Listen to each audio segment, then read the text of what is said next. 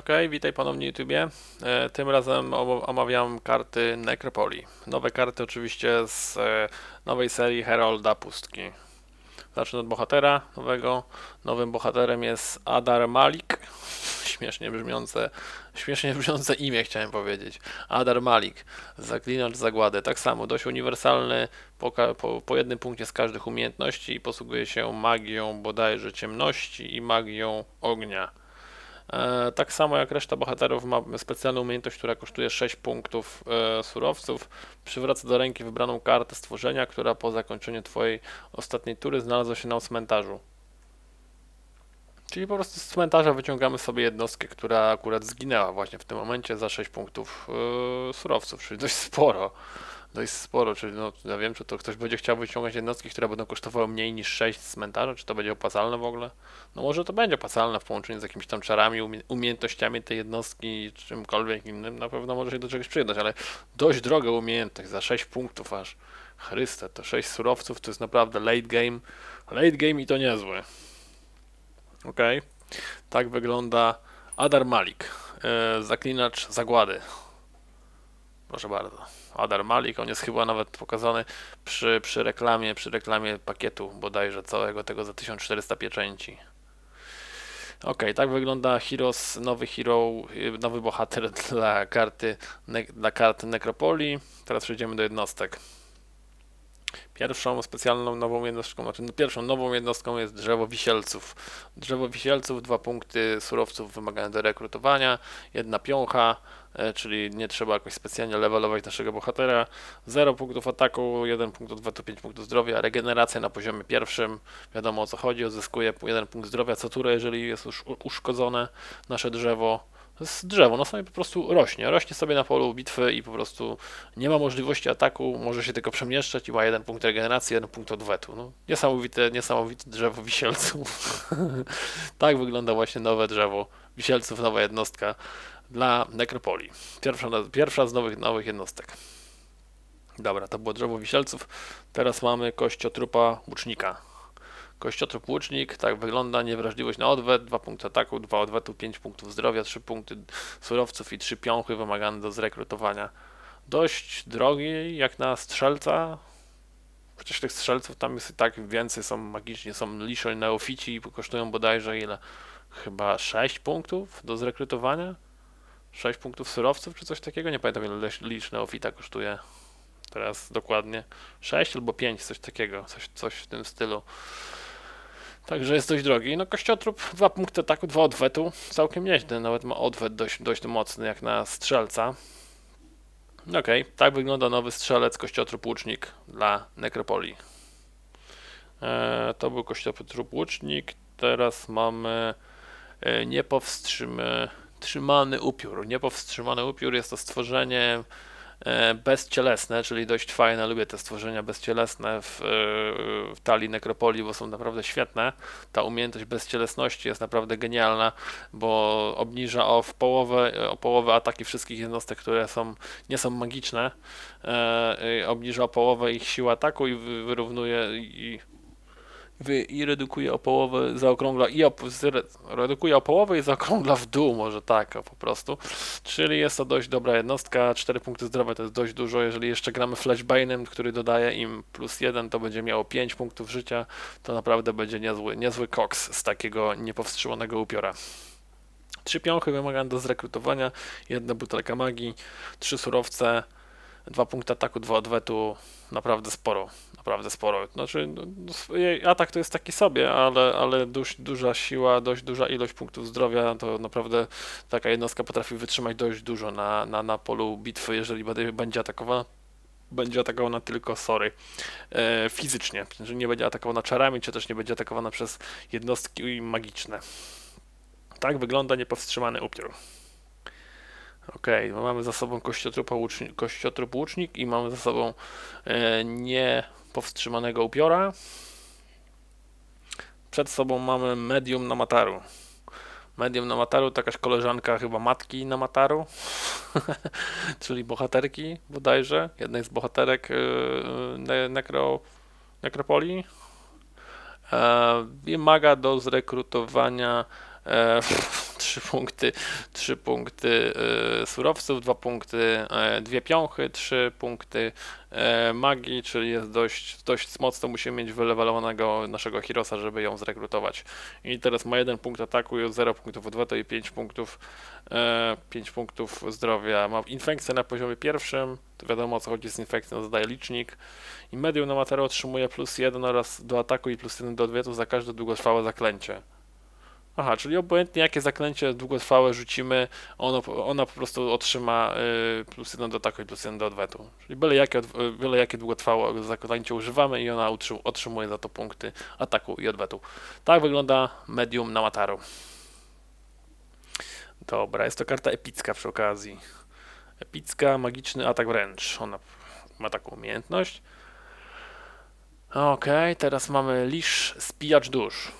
Lisz spijacz dusz, 4 punkty surowców, 4 piąchy wymagane do zrekrutowania, 2 punkty ataku, 1 punkt odwetu, 7 punktów zdrowia, czyli dość sporo. Jest to atak, stworzenie, atak wręcz. Za każdym razem, gdy ginie jakaś, y, jakaś, y, jakieś stworzenie, lisz neofita, y, lisz spijacz dusz, nie lisz neofita, lisz spijacz dusz odzyskuje 2 punkty obrażeń. Czyli, ale ciekawe pytanie, czy, czy, czy za każdym razem, gdy ginie stworzenie nasze, sojusz, sojusznicze, czy ginie stworzenie obojętnie jakie? Prawdopodobnie obojętnie jakie. On będzie zyskiwał dwa punkty zdrowia za każdym razem, czyli dość, dość dobra umiejętność, tak jak regeneracja, coś, coś ala regeneracja. Za każdą, za każdą jednostkę, która zginie, otrzyma dwa punkty zdrowia z powrotem. Tak wygląda lisz spijacz dusz. Dobra. Gdzie był ten lisz? Tu było medium. Hmm, To był lisz spijacz nóż. To teraz mamy pustelnik z mrocznej kniei. Dobre. Pustelnik z mrocznej kniei. Tak wygląda pustelnik z mrocznej kniei. Ciągnie za sobą jakieś, nie wiem, pajęczyny czy coś. Ma jakiś mega wisior tutaj, świecący na zielono. Eee, I tak, i wymaga czterech punktów.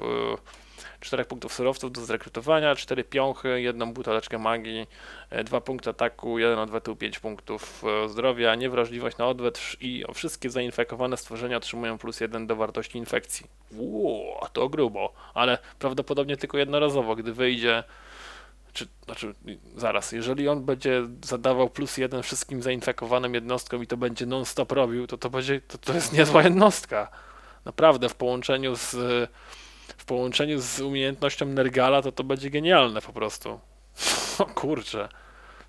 Bo pytanie, czy on zada to tak samo jak Banshee jednorazowo, że Banshee wychodzi, zabija jednostkę jednorazowo i później już nie może tego zrobić, czy, czy on będzie to robił cały czas. Bo jeżeli on to będzie robił cały czas, no to to będzie konkretna jednostka, naprawdę, to wtedy Nergal będzie tak OP, że no już teraz jest OP, a z tą jednostką to może być naprawdę masakryczne. I jeżeli na przykład będziemy mieli kilka takich jednostek, no to pytanie, czy możemy mniej, no to nie, no to będzie naprawdę niezła jednostka. Pustelnik z Mrocznej Kniei, tak wygląda. Dobra jednostka moim zdaniem. Dobra, to był Pustelnik Mrocznej Kniei. Teraz mamy gnilnego spluwacza, boże te nazwy mnie rozwalają. Albo są jakieś trudne do przeczytania, albo są jakieś śmieszne, tak jak ten gnilny spluwacz. Naprawdę zabawny. To brzmi przynajmniej dla mnie. 4 punkty surowców do zrekrutowania, 4 piąchy, 2 punkty ataku, 0 odwetu i 5 punktów zdrowia. Infekcja na pierwszym poziomie.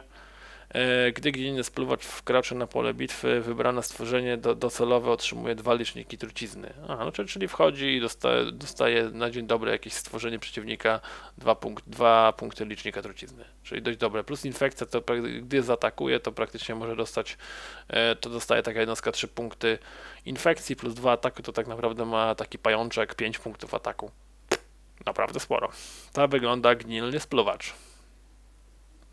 Dobra, gnilnego spluwacza mamy za sobą. Teraz będziemy mieli wcielony koszmar. Wcielony koszmar wygląda nieźle. Jakaś stada, stada jakichś dziczałych wilków yy, po przejściach. Wyglądają jakby wykopały się co najmniej z grobu dopiero. 5 punktów surowców do zrekrutowania, 5 piołów wymagane do, zre- do zrekrutowania, 3 punkty ataku, 3 odwetu i 6 punktów zdrowia. To jest naprawdę niezły koks. I ma umiejętność strachu na poziomie trzecim, czyli e, wszystkie jednostki z, z siłą, które wszystkie, e, e, czyli to stworzenie nie ma, nie zostanie za- zaatakowane przez jednostki, której siła ma współczynnik 3 lub niższy, czyli wszystkie jednostki z siłą wymaganą do zrekrutowania 3 lub niższą nie po prostu nie, są, nie są w stanie atakować e, w ście wcielonego koszmara, wcielonego koszmaru, wcielonego koszmara. Nie są w stanie atakować po prostu te jednostki. Muszą mieć większą siłę po prostu niż 3, czyli wszystkie jednostki, które mają 4 i więcej mogą dopiero zaatakować tą jednostkę. Czyli albo czarami będziemy bombardować to coś, albo jednostkami silniejszymi niż 3. Okej. Okay. To był wcielony koszmar. Coś jeszcze tu mamy? To była ostatnia, ostatnia jednostka, jest to e, e, jednostka rzadka. To była ostatnia jednostka z e, jednostek, nowych jednostek dla Heralda Pustki, nowego rozszerzenia dla Might and Magic Duel of Champions. Są to jednostki Necropolii. Teraz przejdziemy do Łudów Szczęścia, czyli Fortun czy Łudy Szczęścia. Tutaj mamy coś nowego. Jest to rytuał nekromantycznej odnowy. E, wymaga jeden, jeden surowców, jeden punkt przeznaczenia, zniszczy wybrane sojusznicze stworzenie, ulecz inne stworzenie ze wszystkich obrażeń. Aha, czyli tak o zniszczy jednostkę przeciwnika, ale przy okazji uleczy jakąś inną jednostkę przeciwnika. Tak to wygląda. No i dobre, dość ciekawe. Może, by, może być sprytnie wykorzystywane. Tak to wygląda. Rytuał nekromantycznej odnowy. Dobra, co jeszcze mamy? Pożeracz. Coś tu się nie tak robi. Pożera, pożarcie sług. Naciskam pożarcie sług i się pojawia z powrotem e, z, e, rytuał nekromantycznej odnowy. To zrobimy coś takiego. No nie zrobimy nic. Dobra, to pokażę Wam tak w takim razie. Pożeracz sług. Pożeracz sług to jest e, coś takiego. Dwa punkty surowców, dwa punkty przeznaczenia wymagane do, do użycia tej karty. To jest to łódź szczęścia jednorazowy. Zniszcz wybrane sojusznicze stworzenie, ulecz obrażenia swojego bohatera o 3 punkty. Tak wygląda pożeracz sług, czyli niszczymy swoją jednostkę i nasz bohater odzyskuje 3 punkty zdrowia. Yy, świeża mogiła. Odpali się to? Odpaliła się świeża mogiła. E, tak jest łód szczęścia wymagający dwóch, dwóch surowców i trzech trzech punktów przeznaczenia do, do użycia. E, wybierz kartę stworzenia z Twojej biblioteki i włóż ją do, na cmentarz, a następnie przetasuj swoją bibliotekę. Aha, czyli możemy swoje, swoje, swoje stworzenie, które mamy w talii, jeszcze nie użyte, możemy przenieść bezpośrednio na cmentarz, a później co zrobimy? Możemy je, je na przykład wyciągnąć antroposem, jeżeli mamy antroposa i wtedy takie coś wraca do naszej ręki. Czyli taka kombinacja, takie combo możemy zrobić. Użyjemy tej karty, przeniesiemy kartę, którą chcemy użyć na cmentarz, później używamy Antroposa i Antropos wyciągnie nam tą kartę z cmentarza i będziemy mieli ją w ręku. Taki bajer. Dobra, tak wygląda e, łód szczęścia, świeża mogiła.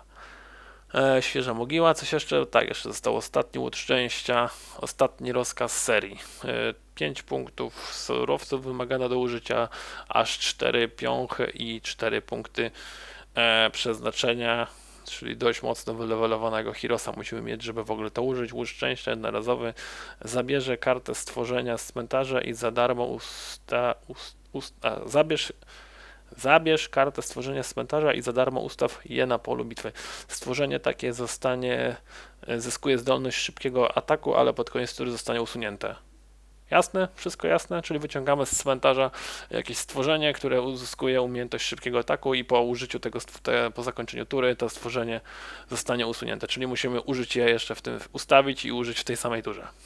Bo po prostu po zakończeniu tury taka jednostka zginie i nic z niej więcej nie, nie, da, nie, nie uzyskamy, nic w niej, z niej więcej. Dobra. To była ostatnia karta dla Necropolis z najnowszego, najnowszej serii kart Herald Pustki dla Might and Magic Duel of Champions. To byłem ja, Zanek